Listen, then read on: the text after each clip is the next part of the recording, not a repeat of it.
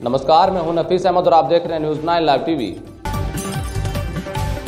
Amravati के वलगांव में बड़ी धूमधाम से समाज सेवी सिकंदर शाह का चवालीसवां जन्मदिन मनाया गया।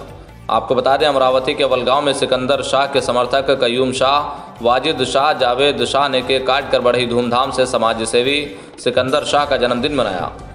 इस अवसर पर रियाज शाह, एजाज खान, इमरान शाह शेख सुहेल, इरशाद अली, कयूम शाह, वाजिद शाह, जावेद शाह समेत काफ़ी संख्या में लोग मौजूद रहे। महाराष्ट्र के अमरावती से न्यूज़ नाइन लाइव टीवी के लिए मुस्तकीम शाह की रिपोर्ट।